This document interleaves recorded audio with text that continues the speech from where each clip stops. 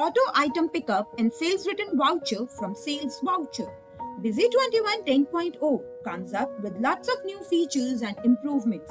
One such beneficial feature that has come as of auto pickup of items and sales return voucher from corresponding sales voucher. Now let us see this useful feature in Busy 10.0 version. First of all, we will add a sales return voucher and enter all the relevant header details. The original sales voucher number.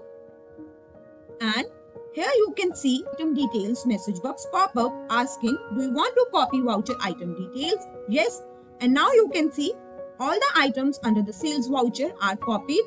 Along with that parameter wise details are copied. If you want to change the quantity or any other parameter you can do so. Or if you want to delete any item you can do that also for second item, you can see batch-wise details are also copied. So, isn't it a useful and time-saving feature?